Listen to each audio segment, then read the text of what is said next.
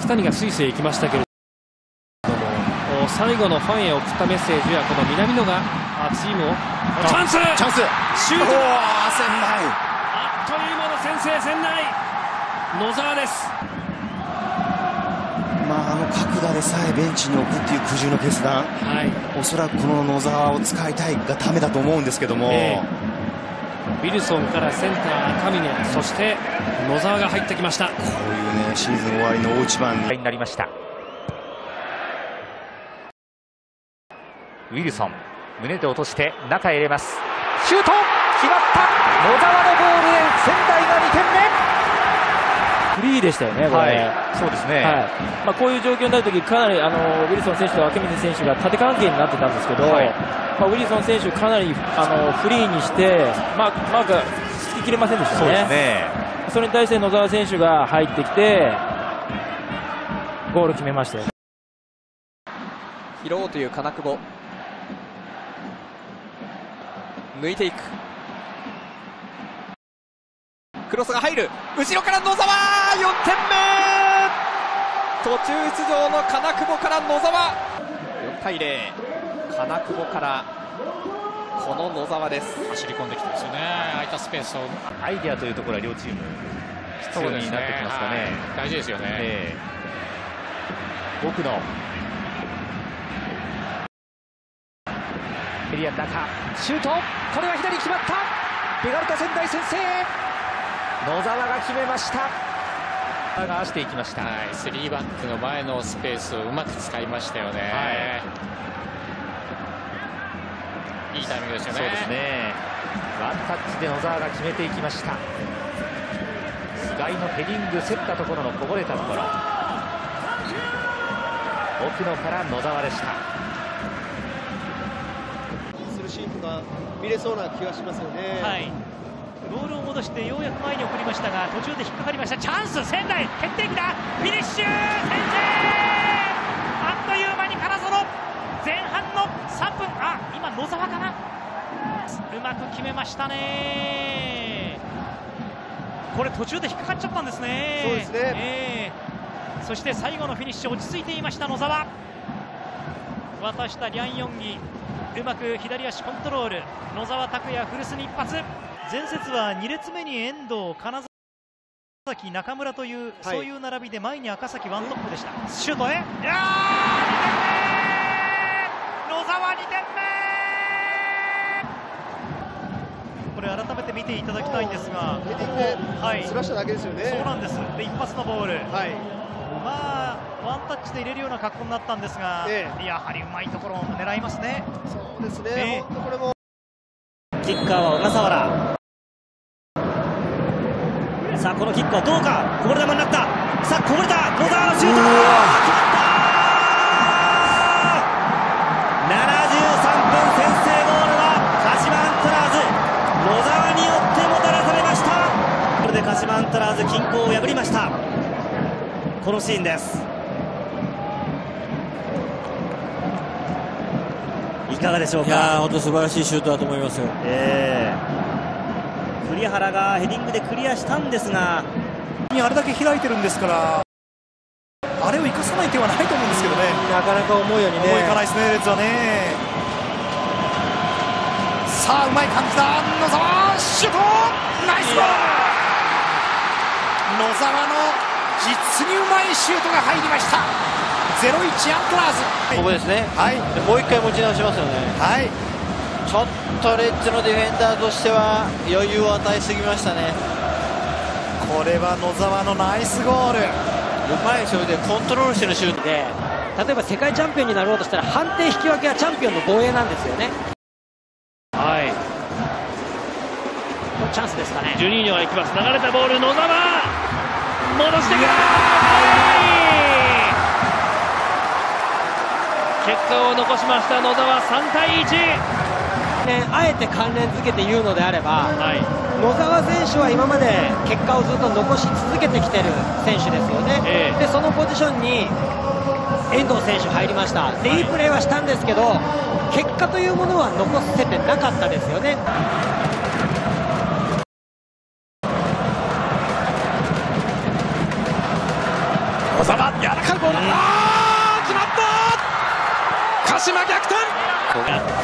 ゴールを決めた後ハートマークを作ってサポーターの方に掲げました野沢です。どうですかこのボールこの速がいいですよねベテランの選手。カイヨから野沢もう一度カイヨ。クリアする。ミドルを打つか。柴崎。打たない。前に出して。なんというゴールか。途中交代の野沢思わないですけどねあの少ないスペースの中に。ここからでした。柴崎ミドルも打てたんですがって打っちゃうんですよ。そうですよこれあんまりねスペースあるようでないんですよね。この後ろから来たこのボールのスピード。それに合わせて前に蹴るという技術。それもあの中澤取った野沢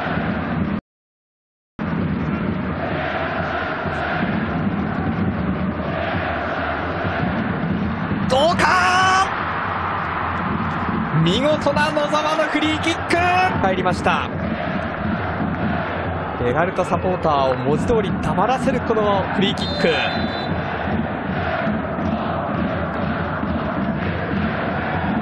いですよね。さすが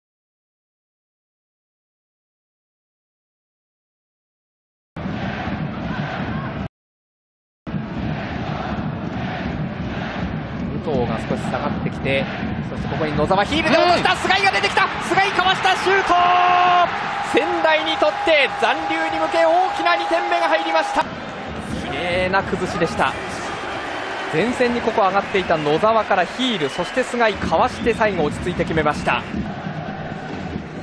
まあ、立ち上がりはこう前節清水勝ったこともあって生き生きしてますよね。はい。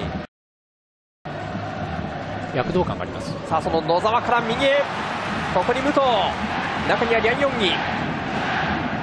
抜いていく武藤中央に来た左足シュート、武藤の先制ゴールでベガルタ仙台1点を奪いました。右足でのシュートありましたが今度もまた利き足ではない左足。野沢のパスから。ここで抜いてこの左足です。強烈ですね。カウンターのリスクマネジメントをしっかりしながらという、そういう印象が強いですね。そういうゲームが多いですよ。しかしここはカウンターになるかキム・ミンテから左に出していきました。ベガルタ仙台中に3人上がっていく。野沢が上げてきたボールは金園の頭を越えていたキム・ミンテがここにいたシュートベガルタ仙台が先制。そのリスク。はっきりしたマーキングができなくなるっていう意味ではちょっと悪い循環になります、そうですね。その仙台は金園これで近いところでサポートがあります。止めて野沢がパス、リャンがシュートだ同点ワンチャンス金園へのロそうですね、まあ、守備の面でもこう攻められていても焦ることなく、はい。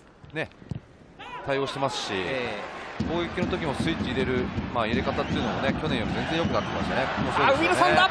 ウィルソン右足。素晴らしいです仙ね。台先制やはりこの人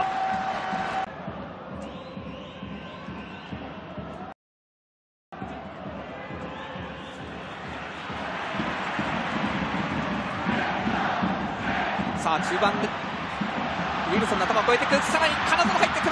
まだあるハモ仙台2点を返した。ここに横から走って金園が反応します。アンドレ・バイヤのヘディング。ちょっとこのボールはウィルソンが行きます。野沢のパス。いやうまい。金園が来た。金園シュート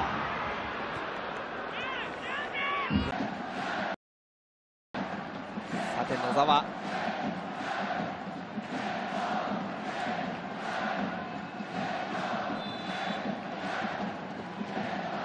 多いところヘディング。5点目止まらない仙台。今度はキム・ミンテ。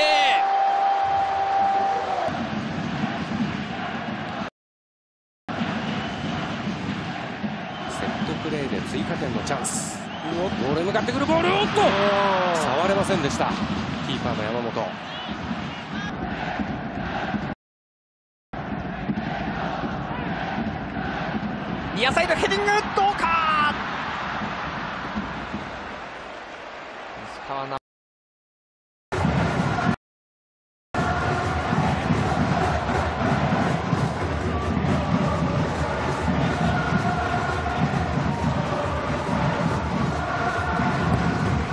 沢のキック。ヘッド！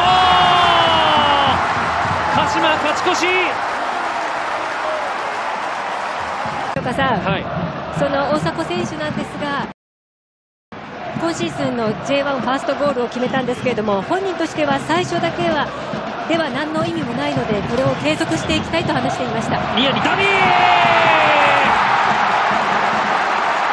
あっという間の追加点アントラーズ FC 東京での初めてのゴールが生まれました。2戦連続公式戦先発起用。駒沢でのゲームは半ば不完全燃焼。しかし今日のゲーム追加点を奪いました。3対1シュートがダービー素晴らしいですね。いや個人に。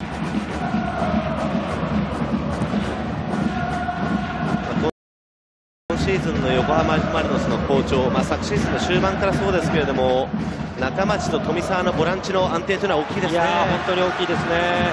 チャンスになります。大迫抜けてきた。大迫シュート。クロスを入れていく。センターではマルティーネスが倒れていましたが笛はなりませんでした。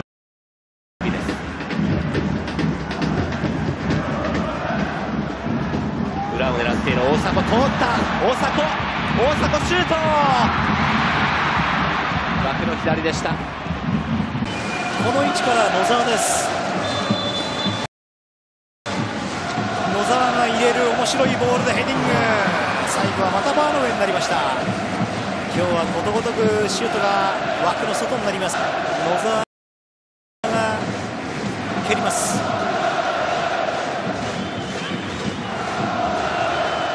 白いボールきました。ヘディング。また右か。今日は枠を捉えません。です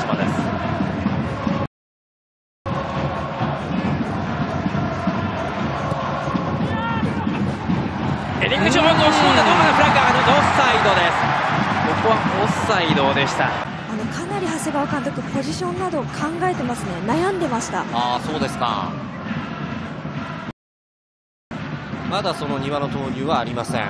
その前に野沢のコーナーキック。浮いたボール。チャンスですね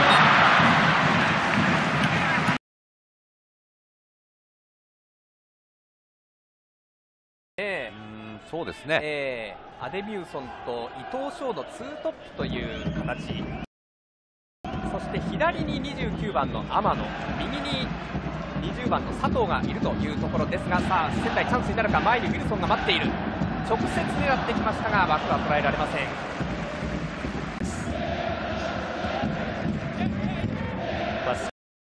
少し山形がボールを動かす時間になっています。キム・ボミョン。野沢が対応します。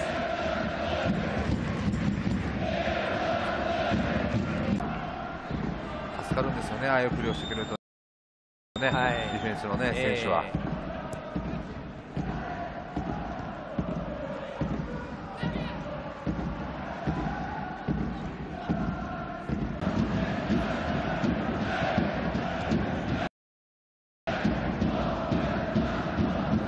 サイド奈良は追いつくか追いつかない。だぞ。菊池俊介打ちました。大竹パス。右のサイドから藤田誠也が中に入ってきます。落とした。すぐ反応。それをかいくぐってつないだ富田。お前に出ました。いいディフェンス。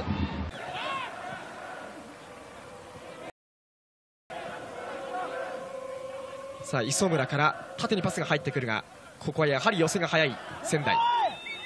カウンター。ウィルソンがボールを持ちました。左サイド上がっていきます。中を見て。ここは一旦スピードを緩めます。1対1同点。70分を過ぎています。残り20分。ここここはそうですね野沢からウィルソンというところでしたしますがちょっとミスになりました。キム・ミヌが拾う前を向かせませんでした。ヤン・ヨンギから富田。キム・ミンテ。縦に出したボールはハモン・ロペスを走らせようというボール。を作るのが早いですよね。そうですね。非常にこうコンパクトにコレコレクティブに組織ができていると思います、はい、前線からの守備が広島戦は大事になってくるとセンターバックの鎌田も話していました。そこで高い位置で奪って奥野しかしここはサポート。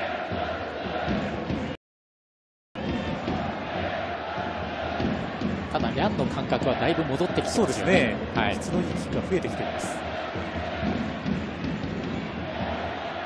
小林と奥野のマッチアップ。指宿がキープします。レオシルバ。ここは富田が行きますが奪った仙台。奥野が倒された今度は阿部トラップから行く、これで左木山が走ってます。阿部はまずボールを3人で捕まえに来ました仙台。野沢キム